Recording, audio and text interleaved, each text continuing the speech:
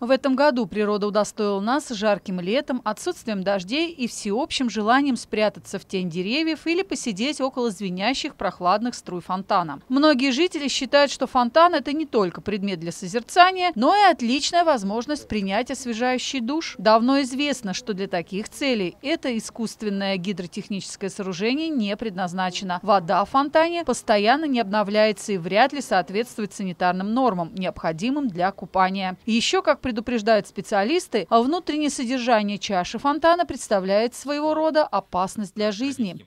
Так как в фонтане работает электрическое оборудование, проходят провода под напряжением, также находятся опасные как говорится, острые предметы в виде форсунок, что может из-за неаккуратности привести к трагическим последствиям в виде травмы, не дай бог, как говорится, смерти.